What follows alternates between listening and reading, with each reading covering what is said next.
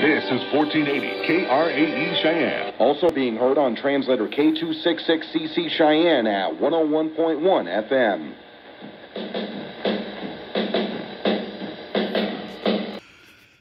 But for how long remains to be seen.